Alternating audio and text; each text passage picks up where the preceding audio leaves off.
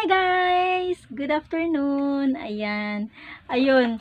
Ah, merong binigay pala sa akin ang aking sister-in-law. Ayun oh. Titingnan natin kung ano yung nasa loob. wow. Tingnan natin. Uy, meron. Oh. Wow. Ang bango. Guys, Byron Home triple scented soy candles. Oh my, wow.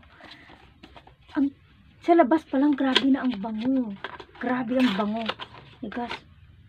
Oh my gosh. Grabe to. Oh. Alam na alam niya talaga na mahilig ako mag-collect ng ano, candles. Mahilig kasi ako sa candles talaga, guys. Oh my god. Oh, hello, grabe. Gusto ko sa ang bango. Ano pa? Ito meron pa oh, may box. Galing sa aking sister-in-law, guys. Oy. Pink cactus and clay peel off. Oh, wow. meron pa. Uy. ang ganda. Ang ganda. Thank you so much sa may aking ano, sister-in-law. Ganda. Love it. Yan. Naka-box pa talaga. Thank you, Leonie. Yan. Thank you so much. Ano pa? Meron pa rin. Oh, meron pa.